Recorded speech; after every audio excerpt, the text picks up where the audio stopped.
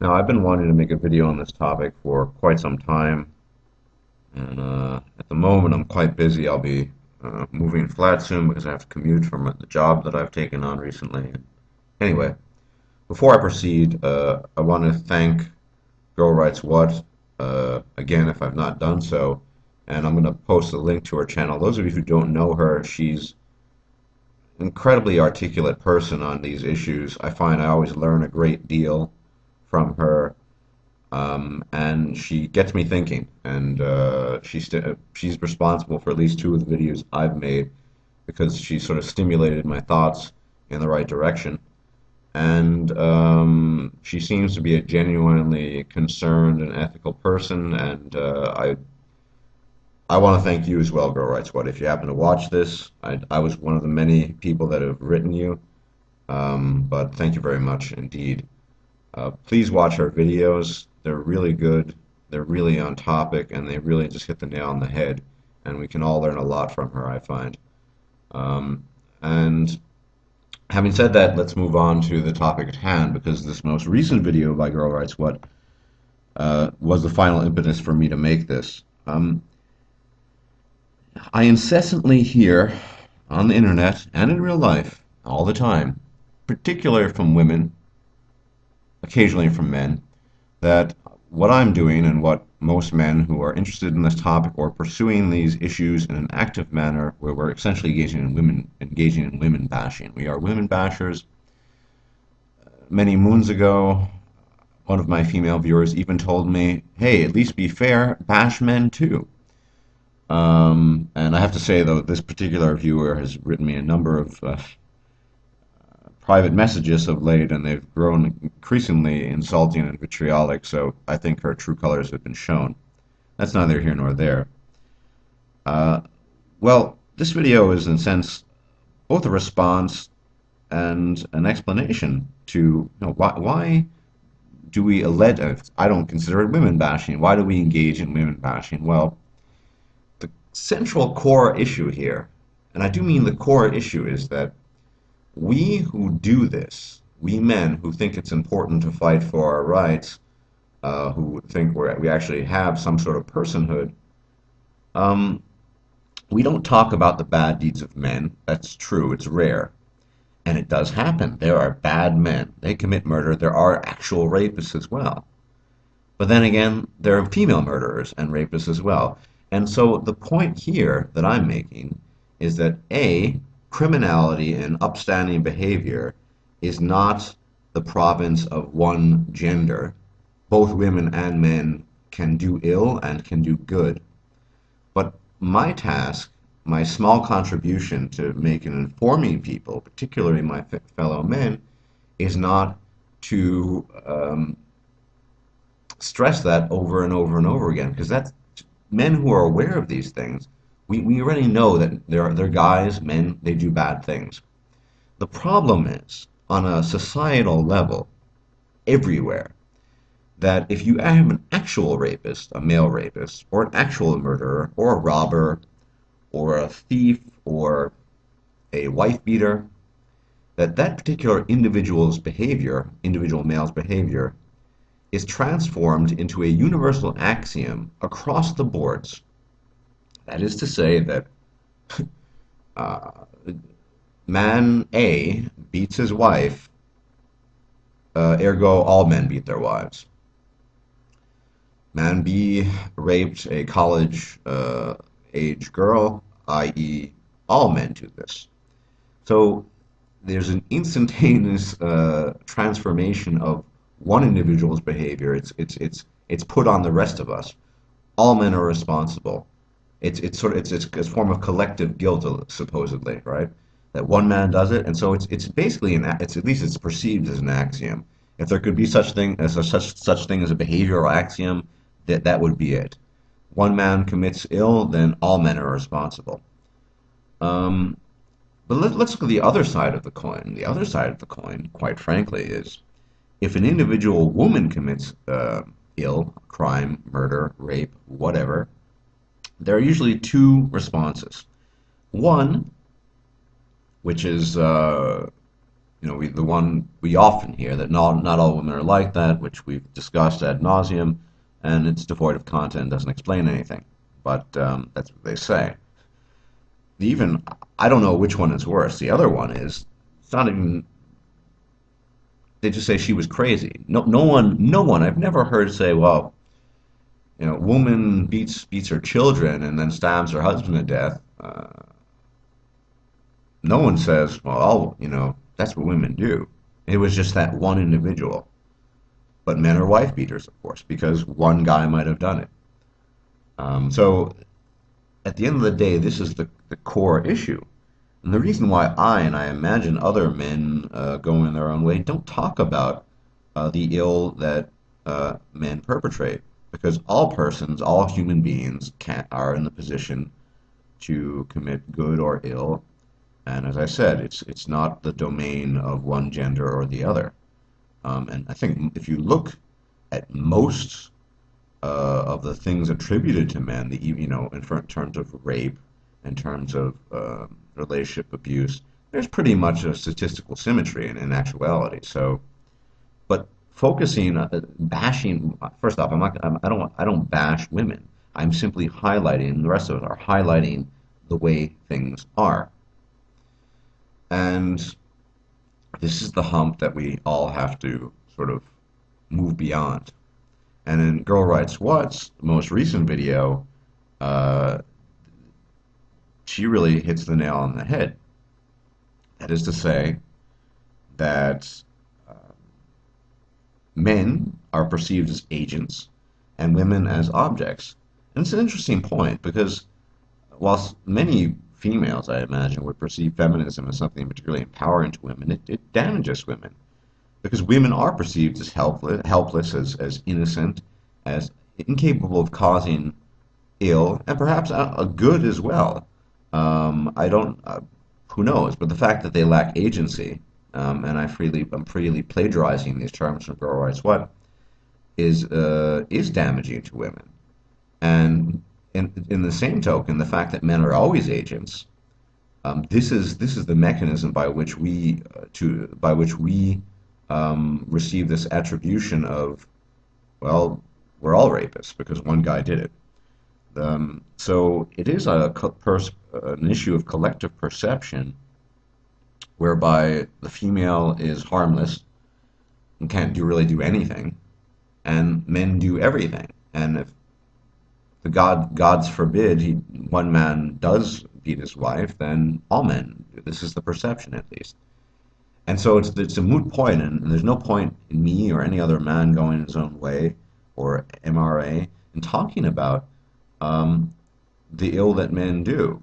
We're all aware of it, and we're all. But what we do if we highlight poor female behavior or, or malicious female behavior is that it, it needs to be relentlessly highlighted because until people get the fact that it is that violence and, and criminality and, and bad things, bad deeds, are not the sole province of half of humanity, where and the other half are um, innocuous uh, angels. I'm never going to stop highlighting the ills of, of that women uh, perpetrate because they do perpetrate ill. They commit crimes. Um, and no doubt there are also uh, women like Girl Writes What who who seem to be very fine persons indeed. But that is not my job. That's not what I see myself doing when I make these videos. I'm not here to uh, highlight what, what what we already know in society, what we see every time you turn on the telly. Not that I watch television these days; I haven't in years. But or you turn on the the YouTube, as it were, you see the male bashing um, I'll post a link to his channel as well. Look at the Ignored Genders channel, where I mean he specializes in highlighting these uh, these commercials. He even had one, a bunch of German ones, which I thought were horrific. There's one in particular, um, and I don't want to go too much on a tangent, where the the, wife and the daughter are um, are enjoying the, the possibility of collecting life insurance whilst the father is sitting on the couch with them. So, so we see universal male bashing all the time we see uh, men being collectivized and their behavior, the behavior of one being turned into a universal axiom for all, And that's the reason why most of us, I imagine, certainly I don't talk about bad male behavior because it's because it defeats the purpose. Um, that's all we hear about. Um, uh, that, as Girl Writes What said, you know, if you see a woman slapping or beating her, her boyfriend, he must have deserved it, right? That's what men do, right? They, they, they're bad people, allegedly. So I don't see the point in doing that. And that, that is the primary reason why I don't talk about the bad things men do. Um, because that's all we hear about. And I'm quite frankly, I'm tired of hearing about it.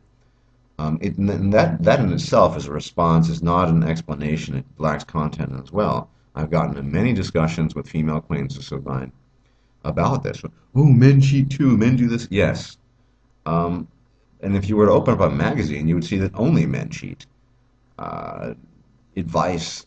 I mean, take some of these really cheesy uh, Yahoo articles that you see online or magazine articles you see online. Uh, how to catch a cheater, or um, you know, five ways to to know um, he he is cheating.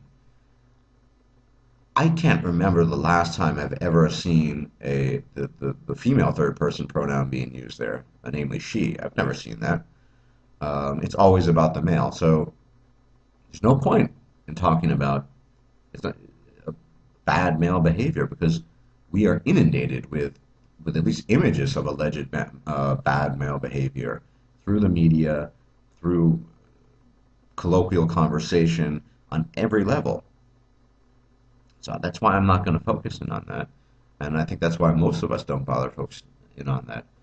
Um, because males in our society, really across the board, particularly in Western society, lack individual personhood. And until individual deeds are seen as uh, individually perpetrated and not transferred to the rest of us, on a universal scale and become some sort of behavioral axiom that doesn't exist, no, I'm not going to be talking about bad stuff that men do. I will, however, be talking about bad stuff that women do in the hopes that individual individuality is recognized and the fact that both genders can commit ill. Um, and that there are inherent, indeed inherent biological tendencies of selfishness, of self-entitlement, that evolved over millions of years um, that inform female behavior. I've talked about this before. You can you can find out more about it by going online and doing some research about picking up a book. That is inherent because it was necessary at some point in time, thousands, millions of years ago. Um, females, women are the limiting factor in reproduction for survival's sake.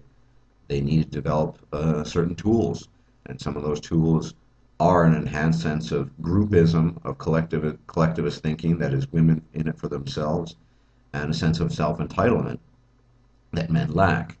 Men are, are definitionally more individualistic than women are. We tend to be more lone, uh, more, uh, more, more of the loner sort than, than, than women are.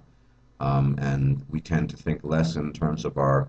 This is also the problem, of course, with men's rights in the men's rights movement that because we are more individualistic, we tend to think uh, less in collective terms. And I hate collectivism, but the fact that there is there are certain universal um, traits to men, and also the plight of men in, in a society-wide scale is universal, and that we're all uh, essentially under siege because of that.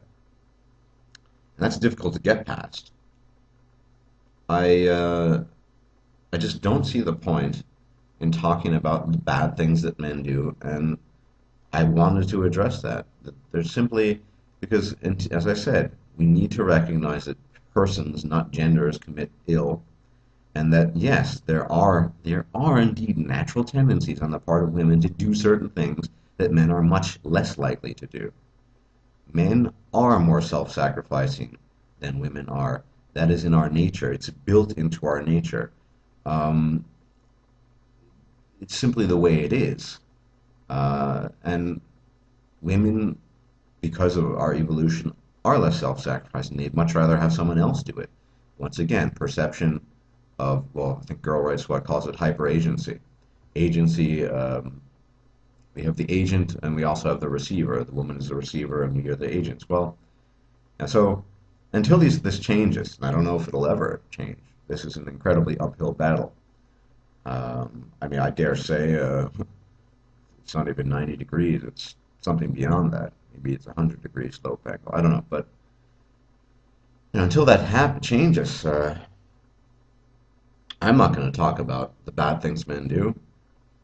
Hey, if you want people, especially women who view me and the rest of you, if you're actually interested in that, watch a couple of YouTube videos, turn on the television, watch the news. You'll hear about the bad things men do all the time.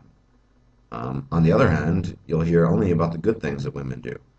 Or if a woman, on the rare occasion that she commits a crime, uh, if you hear about her, it'll just be some crazy woman.